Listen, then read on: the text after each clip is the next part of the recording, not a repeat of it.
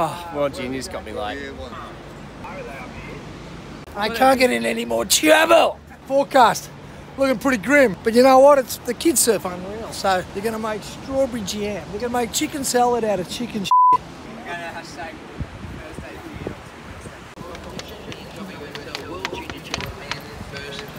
I don't like to get all stiff, so like, why be all serious? You just gotta be funny and comes out.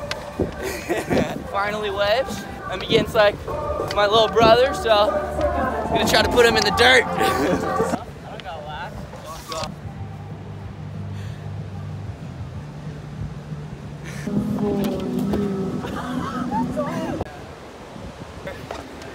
Yeah, uh, pretty good. I mean, you gotta make him respect you, right? Now he's gotta do the dishes, I think.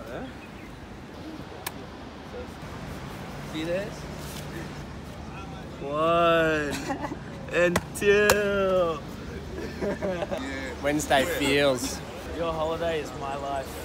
Oh, pro surfers have to surf good in everything, so they say. When it was nearly flat yesterday, I was really super worried they'd just send the chicks out, you know? That old story, send the chicks out. No.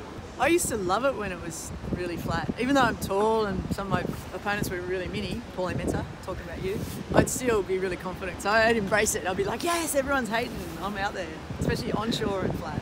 If you've got any head talk saying, oh, I wish that or I wish that or some little story, you just got to replace it with it. I'm going to get out there and smash every opportunity. That's all you can do, you know? Dinsey, today's office. Hashtag vacay, staycay.